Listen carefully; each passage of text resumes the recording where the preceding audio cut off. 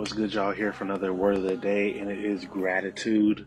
Again, be grateful for where you are, grateful for your journey. Specifically, everything that you've done has got you where you are today.